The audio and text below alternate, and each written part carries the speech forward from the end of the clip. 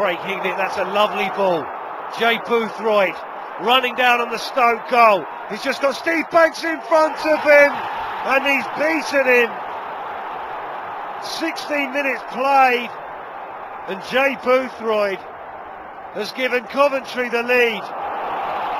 Jay Bothroyd again loves running at defenders. That's a great shot and it's 2-0 Coventry now after just 21 minutes.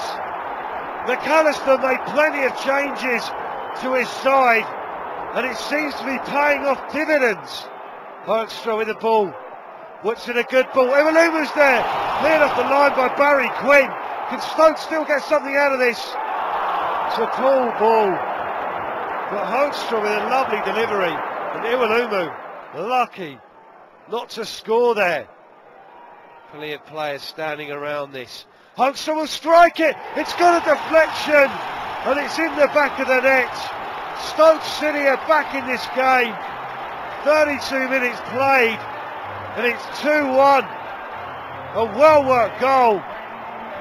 A great strike from the Dutchman. Caldwell whips it in. Dean Holter gets in front of his man. And it could have been 3-1 so easily. The ex-Wimbledon striker missing by millimetres there. Partridge and Wayne Thomas going for the ball. Partridge went down and Mr Hall is calling him over and surely this is not a booking.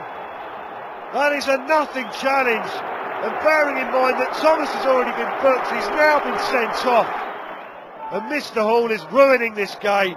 It's a good ball. It's away, but Gunnarsson's gone in for it. And two Coventry players have gone down.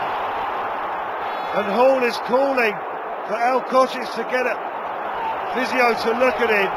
And Gunnarsson, it appears that he has been booked as well now. Stoke City are going to be down to nine men for the last five minutes practically ruling any chance of them getting back into this game out.